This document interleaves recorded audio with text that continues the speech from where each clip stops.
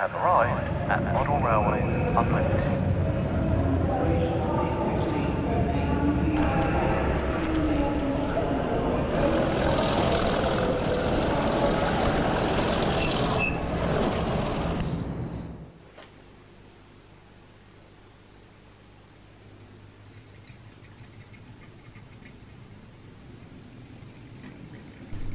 Welcome to this video that marks the start of a series featuring the short-lived BTC, British Transport Commission, early diesel locomotives. However, in this one we will initially focus on the rolling stock, all of which, apart from the brake van I purchased from Adrian Emberton as he continues to find good homes for the large collection of his relative Malcolm.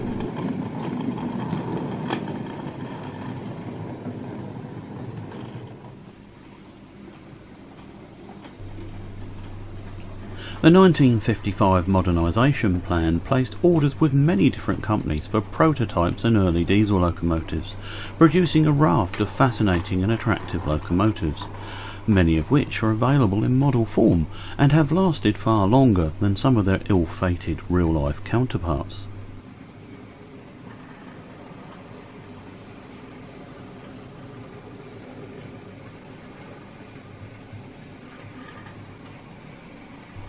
Let's have a look at this train running first of all.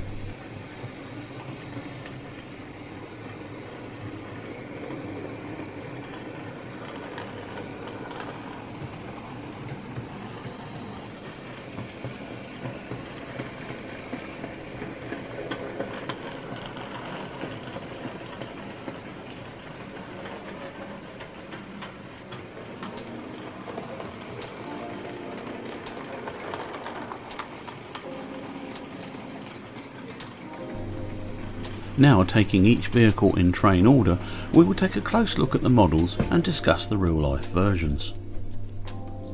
British Rail 10 tonne Maunsell cattle wagons. These two vehicles from Hornby are catalogue number R6737 and 6737A carrying different running numbers designed by Maunsell to diagram 1529 and introduced in 1930 a total of 299 cattle trucks to this diagram were built, to essentially the same design as the previous SR built wagons except being on a steel 10 foot 6 underframe rather than wood that were themselves derived from an existing pre-grouping Southeastern and Chatham design. The final batch of 100 cattle trucks to this diagram were introduced in 1939. The two versions of the 1529 diagram cattle truck released by Hornby are numbered S53732 and S53691. Cattle trucks were always placed at the front of trains in order that they would be the first vehicles to be shunted, avoiding delays and stress to the animals. Many were brake fitted, so this was another reason to have them at the front head of the train. While we can wonder at the less than ideal method of transporting live animals, we can't ignore this important flow that saw many stations with cattle pens. However, the flow was an early casualty and was quickly phased out as we moved toward 1975 when the traffic ended completely. The wagons are excellent and very well detailed. Presflo hoppers are certainly post-war vehicles, not having been conceived until 1954. They were loaded under gravity, but discharge of the dry cement powder was assisted by compressed air at 20 pounds per square inch. Interestingly, 30 wagons were built for the salt trade, but later further wagons were built with side discharge for salt. Our model is a 1961 built vehicle from Gloucester Carriage and Wagon Works, one of 170 built. It carries a lengthy inscription on one side with instructions for loading and unloading, as well as more centrally mounted set of instructions for clearing blockages.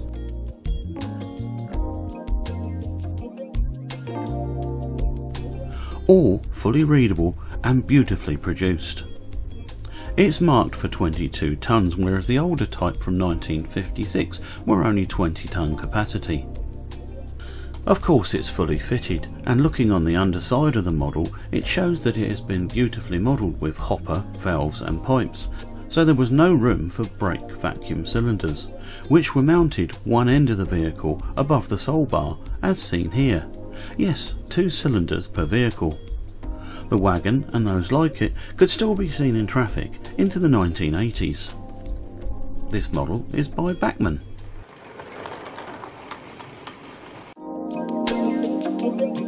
The story of the Palethorpe Sausage Company and their use of rail travel to transport their products is an interesting one. The LMS sanctioned the building of four six-wheel vans in 1936 which had refrigeration in the form of ice cooling and a fan which created ducted air cooling. The vans were built at Wolverton Works and were rated to carry 6 tons. They were originally painted in LMS Crimson Lake and carried gold leaf lettering with black border. The vans went into service at the beginning of 1937 and carried the Royal Cambridge logo along with a picture of a pack of sausages. The logo changed to pork sausages instead of the Royal Cambridge logo in 1955 or 56. Most of the vans were out of service for transporting sausages by 1964. However, at least one M38732 was later used for parcels traffic, but all were withdrawn by the end of 1966. This model by Hornby R6317 is a six-wheel refrigerated van for the Palethorpe Sausage Company.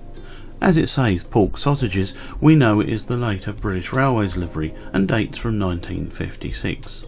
It has the well-known floating centre wheel with rodding to ensure the couplings line up on curves.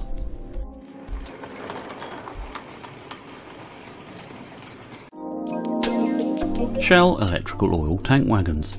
Now for some more tank wagons, but this time with a twist. These wagons were neither Class A or Class B, so were exempt from the strict colour schemes.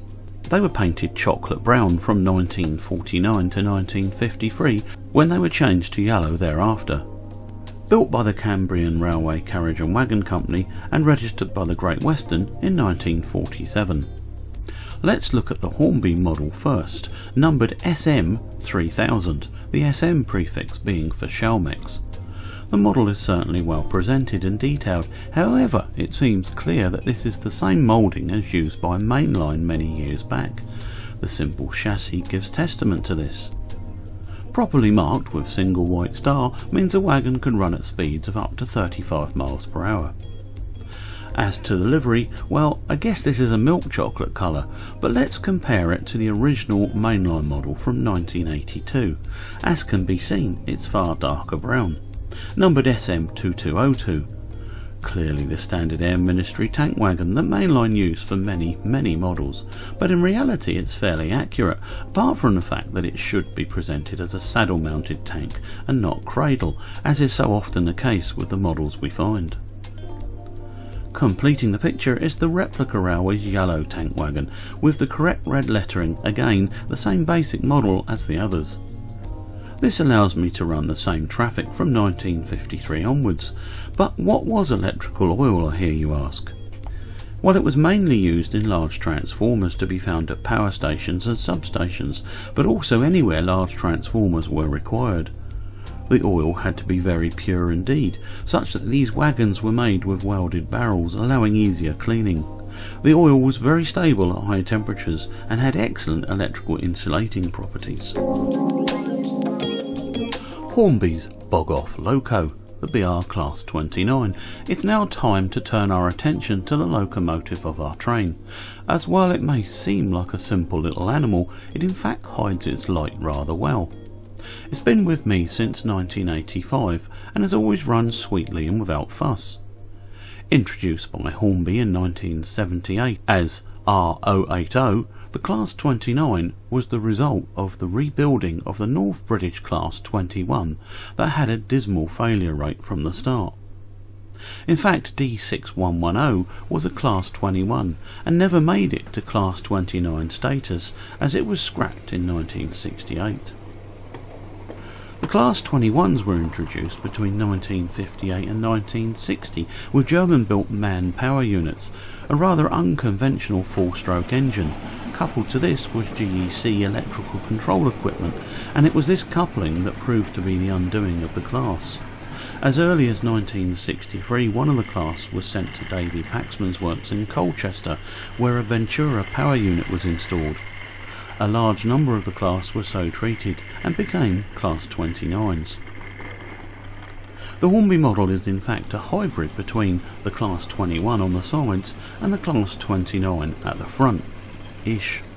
So right back in 1978 we had a passable Class 21 and we never even knew it. What a great little locomotive and what an interesting bit of railway history it stands ready to tell for those who care to look. Note the SKF branding on the bogie axle boxes and the cab fittings as well. Okay, it's not up to modern standards, but it's certainly perfectly passable, and I wouldn't get rid of it for anything. Hope you enjoyed this video. Keep a lookout for the next one in the series.